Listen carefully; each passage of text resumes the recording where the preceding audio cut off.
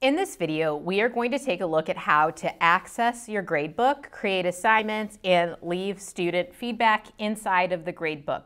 Just as a reminder, I am in a sample instance of Classroom 360, so there are some buttons or items that may look a little different than on your screen. For example, this teacher doesn't have very many students. So let's go ahead and jump in. I am on Classroom 360, and there are a couple ways to get into the gradebook. So in this case, we have multiple hours. So if I want to get into the gradebook for one of these hours, I can go under the grading due report column and click the little icon that associates with the row of the hour, or I can go to the three stack dots that's next to that row, that hour, and then jump into gradebook that way. So there are several ways you can get inside of a gradebook. Once the gradebook opens, immediately at the top, I like to take a look at the term and make sure I'm filtered how I want to be. So in this case, I only want to look at term four grades, but this filter will allow me to see more or less depending on what I'm trying to do. The next item I like to look at when I'm starting to look at a gradebook in Classroom 360 is the preferences icon at the bottom.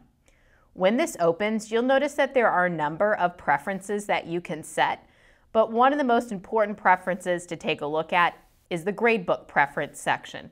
This is going to help you customize your gradebook view so it's easier for you to see what you need to see when you want to see it and help you with putting in grades.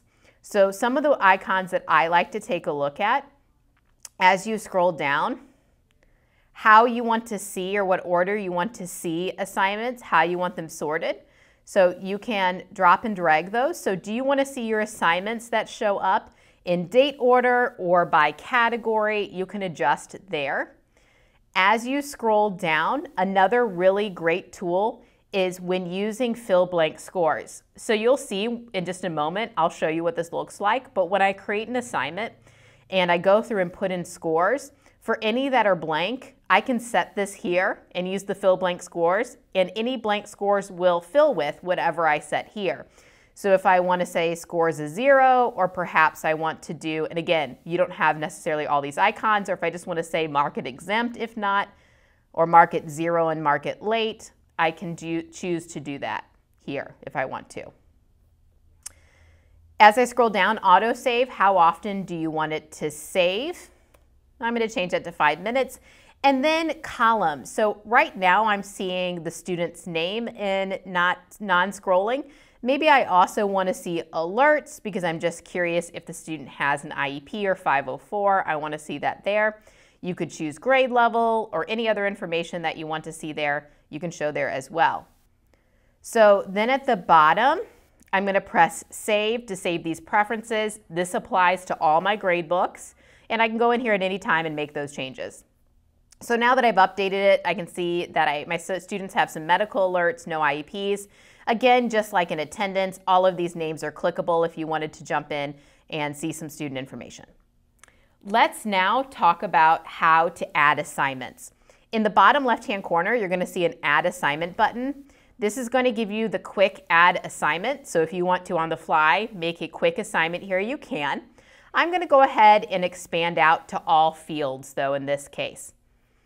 Your grading categories are here, so if you need to change the category type, we're not going to mess with sequence. This will auto-apply. But I'm going to go ahead and put in the summary the name of the assignment. So maybe this is our essay here. You don't have to put a date assign, you can. You must have a due date. This is just like classic. You must have a due date and you must have possible points. So how many points is the essay worth? I can put that there. Another really helpful tool, if you teach more than one section of a course, you can choose to copy it to all sections of this course. So in this case, I only teach one. But let's say I want to assign it to all. I can select all or select the courses that I want to copy this assignment to.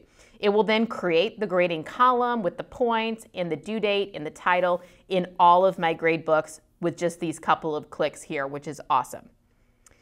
Now I can click Save, or if I have some other assignment columns I want to create, I can check this Save and New, and it will pop up a new blank field and save my previous. I'm going to go ahead and save this now.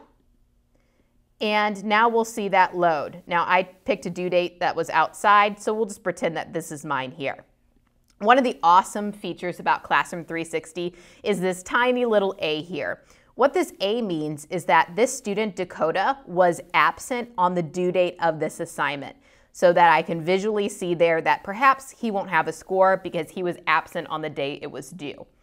So then all of these fields here are ready for me to start typing. So I can go in and put my point value in and go down my row and give my students points. And look there, it just notified me that I'm putting above the number so I can visually see if I need to adjust that. Um, if I want to see where I can add in comments, I can go into my preferences and have my column for comments show or I can use this pop-up bar on the right here that's gonna let me put in any special marks and put in comments. I can also type ABS for absent or whichever ones you have. Again, this list is a little longer than what we have access to in our instance of Classroom 360, but I can choose to type uh, EMPT, it'll pop up here, or I can use this menu and leave a comment. So if I wanna type something in here, this will show in student and parent portal as well, this comment, so I can do that. And then I can continue to move down and this will adjust by student. I can hide this anytime or pop it out. Again, in preferences, I can set it so the co comments column shows up all the time if I want. There's a little indication here. The C means there's a comment for that cell. Let's talk about a couple other helpful tools in our gradebook. So I can click on the title of the assignment here and here is that fill blank scores that we talked about earlier. Remember, you can go to preference and say anytime you use fill blank scores, what do you want those scores to fill in with? So here I'm going to press it and it applied what I asked it to apply. Another helpful hint here is to do the mass modify. So mass modify lets me make changes to my entire column. So I could say go ahead and set all scores to 100 it can even overwrite the existing scores. So maybe everyone has redone it, made it up. Everybody has 100 now. If I need to just add some points or change some things, maybe I messed up scoring. I told everybody they would get five extra points. I can use this mass modify to do that for me. I click apply and it makes those changes right there. This is also where you click if you need to edit the assignment. Maybe you need to change the point value or you need to make some changes to what it's called or the date or whatever, this is how you can get into edit. Delete, if you want to copy this assignment, you forgot to press copy to your other gradebooks, you want to do that again, that is all right there for you. So just clicking that heading will give you that information. If you are ready to switch to another gradebook, one helpful hint is up at the top, you're going to see this book button and this will let you jump into another grade book, another hour, without having to go home and then clicking back into that grade book. One other helpful hint to look at here is just knowing that in your gradebook across these tabs, these other tabs show you an assignment listing, they show you the different categories you have, and there's even the tab that you will use when open to report your term grades. All of that is done within the gradebook itself. This is a little bit of a shift from what we're used to in Classic. There is an auto save going on every five minutes, but I do have a save button down here at the bottom, so I can press that if I want to save. And also what's nice is it alert will alert me if I go back to home. Do you want to save your changes? And you can save your changes there. There are more buttons to check out at the bottom with different reports you can run under tools or even your mass tools if you want to send a mass email from here. Your Canvas or Google Classroom buttons will be down here as well for you to use. So again, in this video, we learned how to open Gradebook, how to set your preferences, how to filter at the top to see just the amount of uh, categories and dates that you want to see depending on terms or semesters. We learned how to add assignments to see all of those fields, which allows you to copy to other classes all at once.